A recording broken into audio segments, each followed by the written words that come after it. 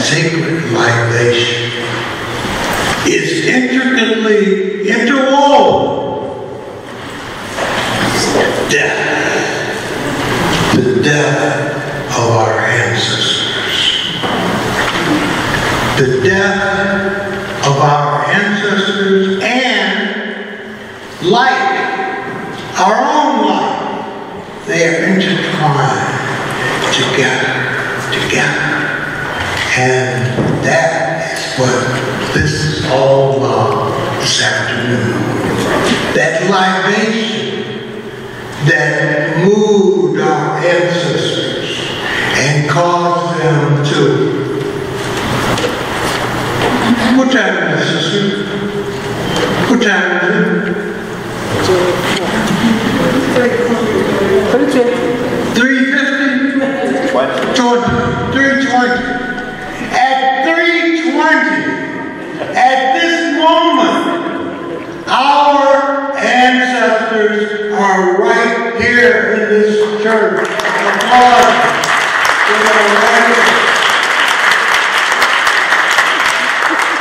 They are here, and they are whispering to our psyche. They are here, and they are smiling at us. They are here, and they are approving of what is going on right now. Because we're talking about something that's near and dear to all of those wonderful ancestors. And that's the sacred rites of libation. Sacred libation, that is the successful pouring out unto the earth with deep respect. That pouring out is what libation is. Pouring out of liquid or grain, but coming out. And that's what happened to you and to me. We were poured out of our mother, generated by our fathers. And that's what libation means. It means to pour out. Almighty God poured us out. And our ancestors saw what he was doing. And so our ancestors began pouring us out of themselves. That's libation. It is so sacred. It is so holy. It is so precious. I don't care who you are. You had someone who poured you out. That's the libation. And that's why I really, truly hope you understand that Almighty God intended for us to live and die. Live and die. That is what this is all about.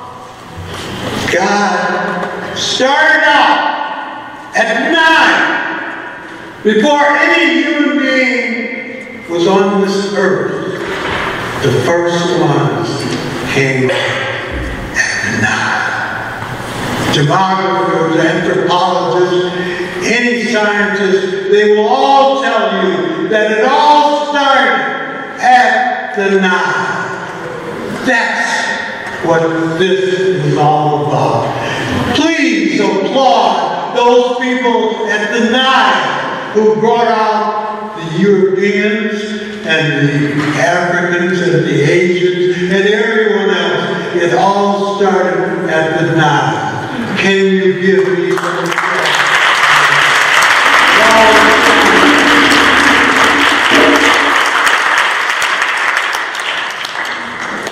Brothers and sisters, the drums are beating. The drums are beating this world because of what God decided at Nile. And when our ancestors saw what God wanted, that's why they took sacred vessels and they filled those vessels with liquid, with oil, with various sacraments of this earth and poured it out. In fact, in sacred scripture, it tells us you have to listen carefully to this so that you catch it. This is what they said in Genesis, in the 35th chapter, the 14th verse. Listen to what Oh Almighty God put in Scripture. Jacob, one of our ancestors from centuries ago, Jacob, he set up pillars of stone in that place. And he poured out a drink offering on them. And he poured oil on them. That was the rite of sacred libation. That is done with the right arm extended out to God. The sacred rite of libation concludes with peace. Peace. Peace that is bloodless, gentle, irrevocable, and final. The sacred rite of libation is poured out on earth. It is meant for both the dead and the living. Piety, duty, reverence, they are meant for the sacred rite of libation. Can we please stand? We are about to imitate our ancestors. Right now, we are going to have this sacred rite of libation, which goes all the way back to the beginning of time, all the way back to those African traditional cultures.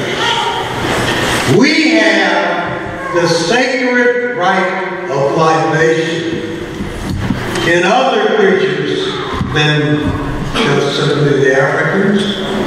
That sacred rite is also in Japan, and it's with the Buddhists, and it's with in China, and it's with the Native Americans, and it's even in Siberia. It's all over this planet. The sacred rite of libation. It is held, my brothers and sisters, when a baby is born and when an elder dies. The sacred rite of libation will be done at this moment.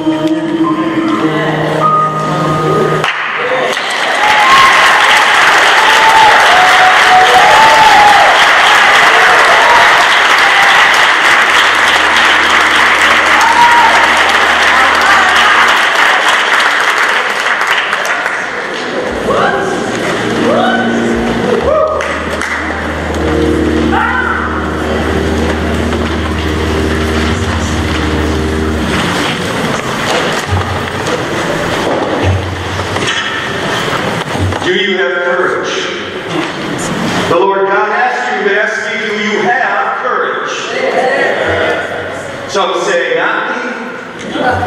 But do you have courage to stand up and be proud of who you are? Do you have courage to stand up against the injustices of our society? Do you have courage to persevere in times of doubt and know that the Lord God will let you not doubt for much longer? Do you have courage? Do you have courage to you have that out to act outwardly on what you see inwardly? Do you have courage to stand up for what is right, or do you courage not to say what is right? Because you are ashamed, but yet you are fearful that someone might judge you. Have courage nonetheless. Because misery will always have company. Amen. Success is only there if you want it. If you do not want to make waves, be mediocre. Be normal and just fit in. If you are more concerned about people than about God, neutralize everything He has put into you. Just fit in with everybody else. Dress like them, talk like them, walk like them, go where they go, think like they think, do what they do. And once you neutralize your uniqueness, you won't need courage. It takes courage to be different. It takes courage to go where you have never gone before. I have come too far to turn around. I am here now, and if anyone says anything different, let the Lord God deal with them. It takes courage to be exceptional. It takes courage to be wise. It takes courage to be educated. It takes courage to say that after all I have been through, after all that my ancestors have been through, after all that my parents have been through, after all that, to just fit in normally is not acceptable. What do you do when you feel like you are going under the tumultuous waves of life? A mighty oak tree. Think about that. Mighty oak tree begins with a seed that is planted in the soil and fights its way up to only face the winds, the rains, the snow, and the blazing sun. And with all that adversity, it becomes a beautiful, strong, magnificent oak tree.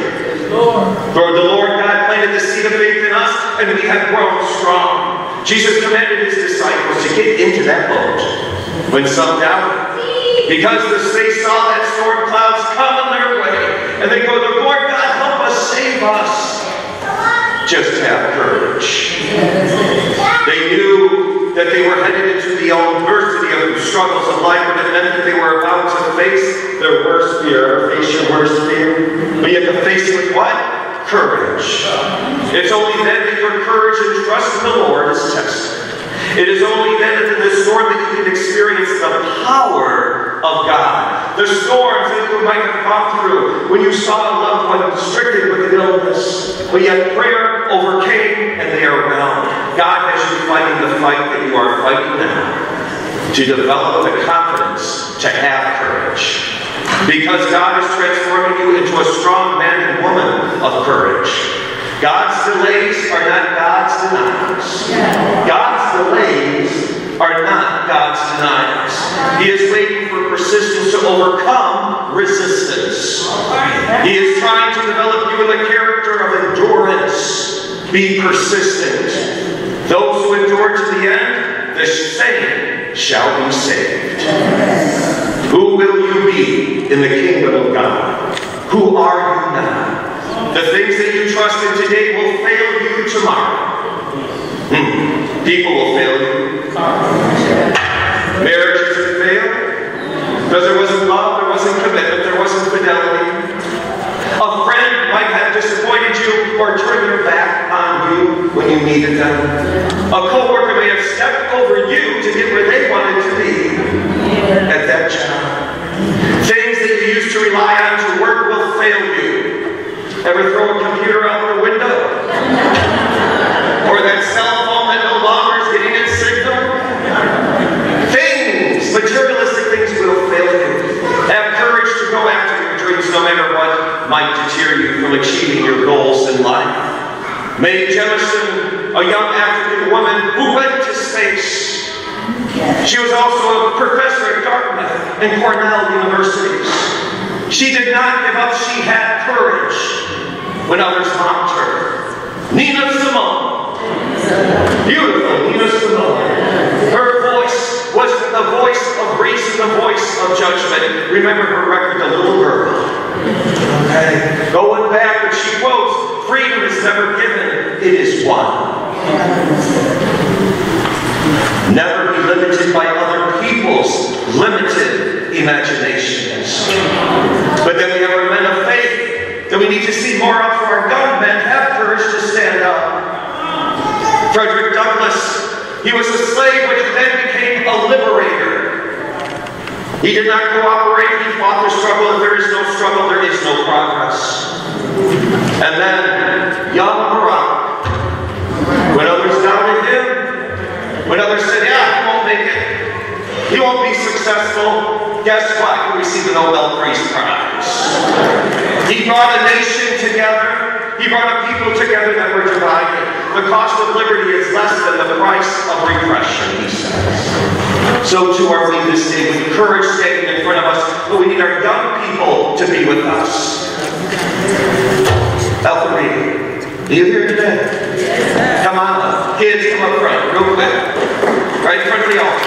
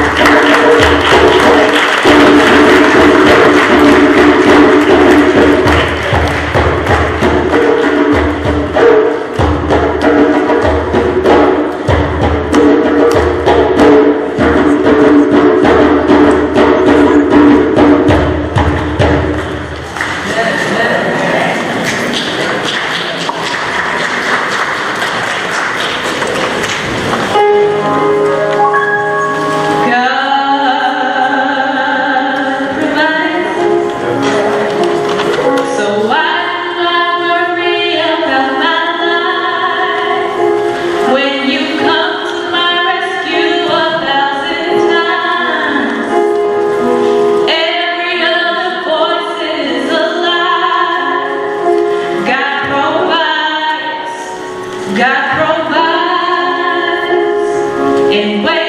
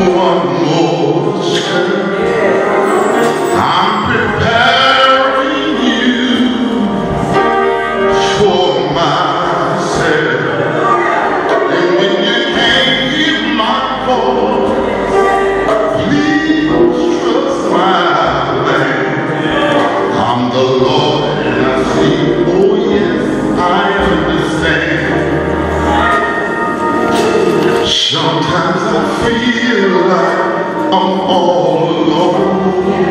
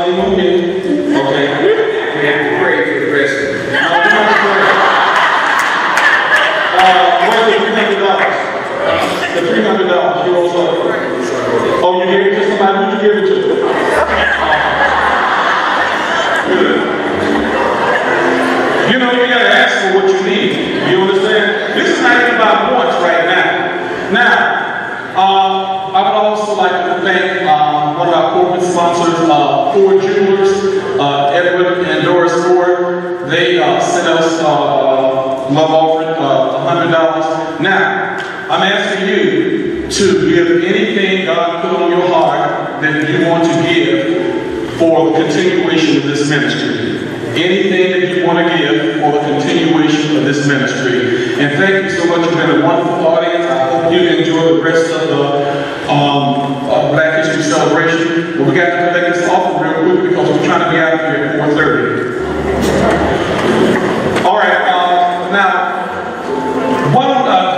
direct everybody around, and you can give your offering, okay? In any way you want to bless us, you want to write a check, write it to CBCC. C is in cow, C is in cow, B is in boy, C is in cow. Thank you.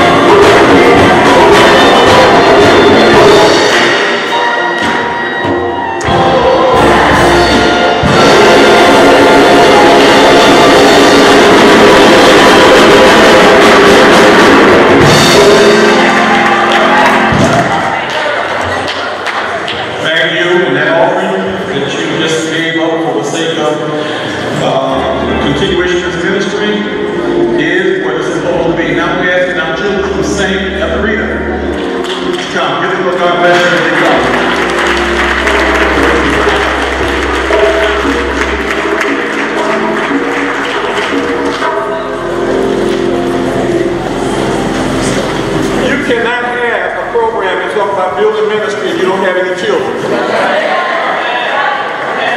That's called dead work.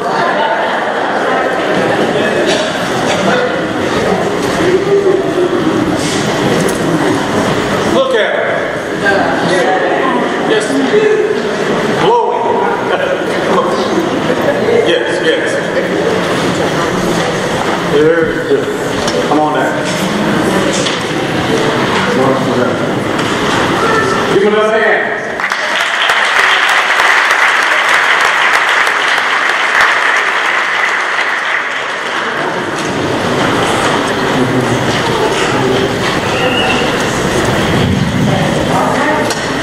All right. Let's good to see those big beautiful smiles.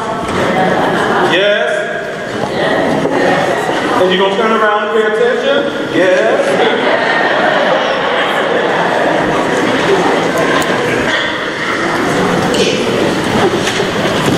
This afternoon, we would like to perform a song, a song that was created in memory of the children who perished in the April 1995 Oklahoma City bombing, and for all the children of the world who are the innocent victims of senseless violence. PAS.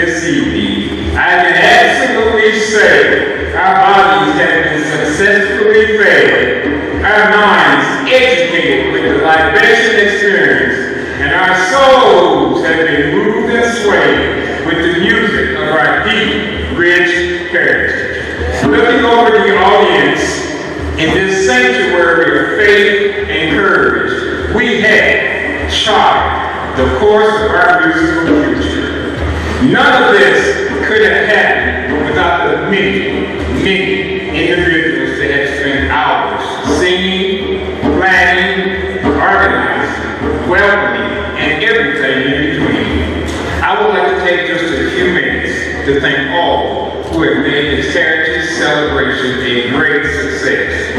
Our guests, along with Father Andrew and the Holy Angels Parish, thank you for your ongoing support of our great ministry of song.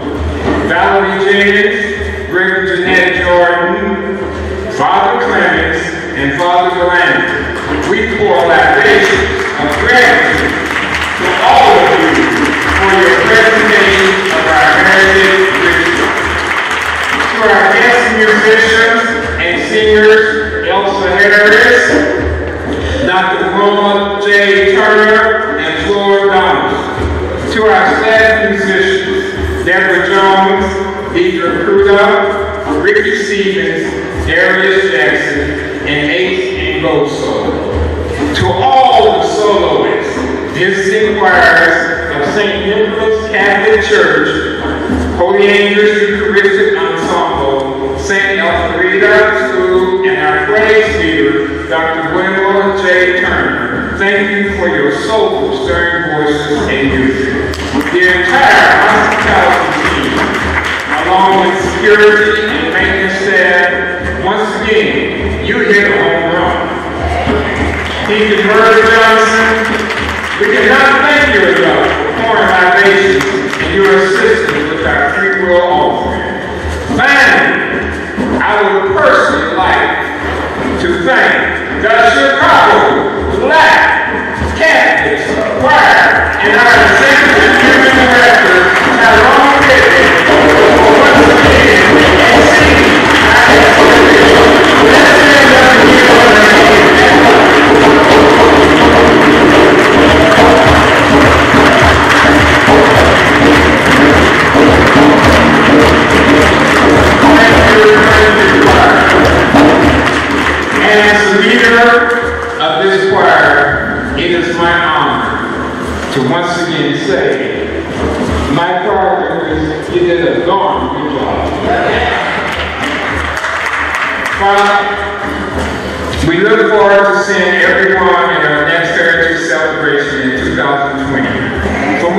information on our upcoming events, please check out our website at www.cbcchoir.org. Father Smith, if you would be so kind as to come up and lead us in our closing prayer. Afterwards, will everyone please stand, join the choir in the singing of our Black National Anthem. Lift every voice and sing. Thank you and have a good evening.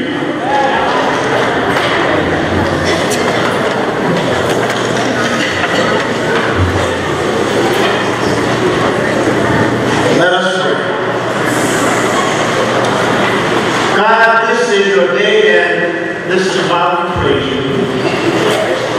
This is your day and we shall declare your name.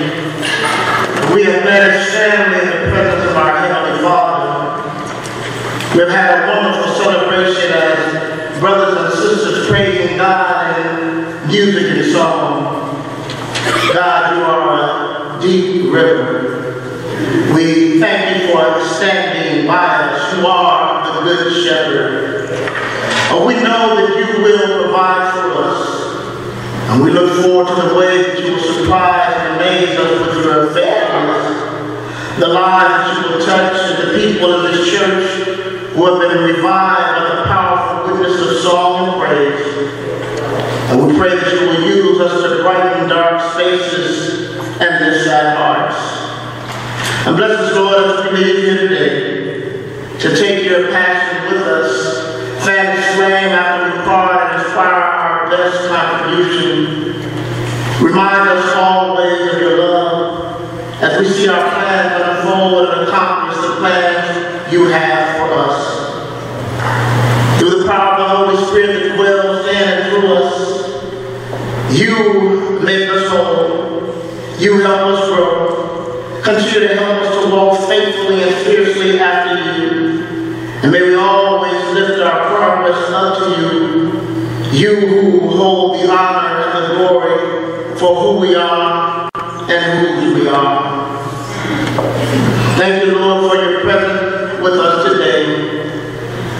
As the choir said and sang so wonderfully, 2 Chronicles 7:14, if my people who are called by humble themselves and pray and seek my face and turn from their wicked ways, then I will hear from heaven, forgive their sin, and heal their land. We thank you because you are the Lamb of God, an understanding and on-time God. Come reveal your grace and truth to us today.